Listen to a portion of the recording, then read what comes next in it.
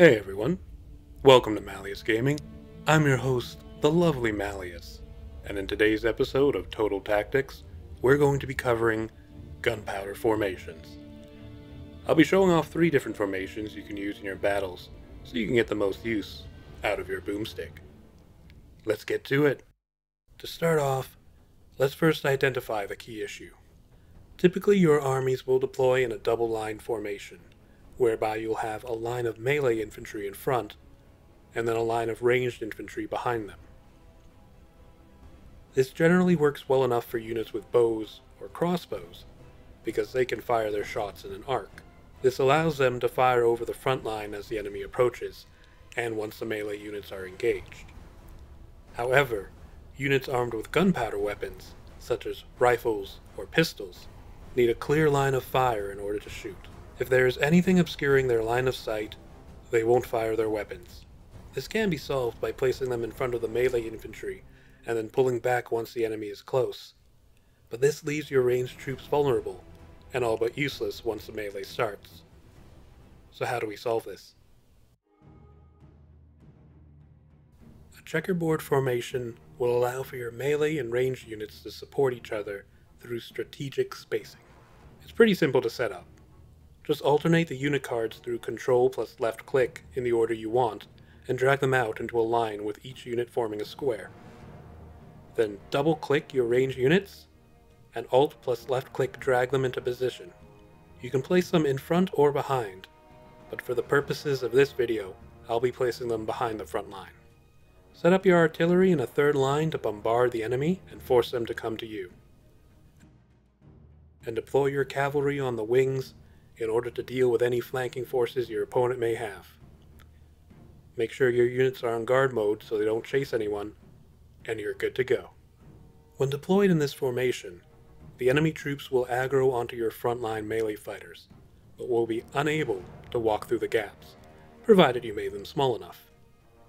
Your ranged units will in turn be able to shoot straight through those gaps, even able to target the enemy unit's flanks as they wrap around your melee blocks. These close range volleys will cause incredible damage on your opponent's units, provided your front line can hold. By keeping your units in compact square blocks, it'll allow them to quickly change the direction they're facing should they need to shoot at something else. The checkerboard formation is easy to set up, decently maneuverable, and lets your ranged units fire very effectively. This makes it a very efficient formation, and it can serve as your mainstay battle line, able to handle most any situation you'll find yourself in. It can, however, be vulnerable to artillery fire due to how compact your individual units are, as well as having a somewhat limited field of fire, as your range units are forced to shoot through the narrow gaps between your front line.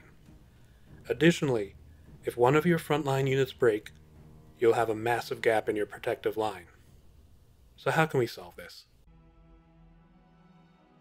The chevron's formation addresses some of the weaknesses of your standard checkerboard. First, your units are spread out in thinner lines, making them slightly less vulnerable to artillery. Second, by doubling up on your melee infantry, should one of them break, you'll still have some protection in the other unit. Thirdly, your ranged units have full line of sight on enemy units, and so can fire to maximum effectiveness.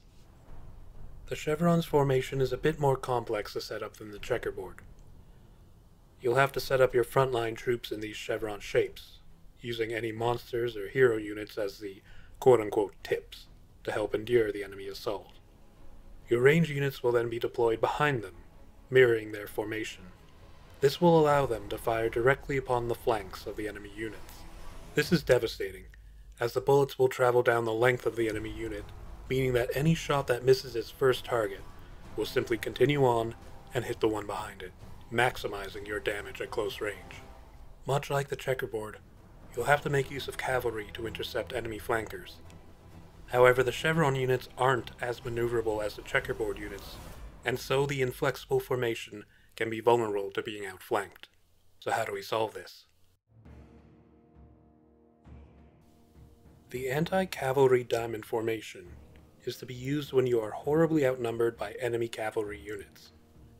It's especially useful for the notoriously slow dwarfs, who don't possess any cavalry of their own, and are thus particularly vulnerable to being outmaneuvered.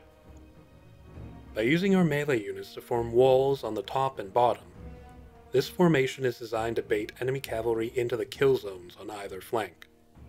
They'll be hard pressed to make a significant charge through the overlapping fields of fire, and any survivors who do make contact can be easily taken care of with any of your unengaged melee troops. Just be sure that the tip of the diamond facing the enemy army is secure and will be able to hold, as it will be facing the most punishment. Once the enemy cavalry units are taken care of, you'll be able to break your formation and sweep along the flanks of the remaining enemy units, putting them to rout and securing yourself a victory. Well, I hope these formations will help you out in the battles to come. If you enjoyed this video, please leave a like, comment, and subscribe. It'll really help the channel out a lot. If you have any questions, see anything you disagree with, or if you have any tips of your own, please let me know in the comments. You can find my socials in the description below, and I hope you all have a great day. I'll see you in the next one. Bye!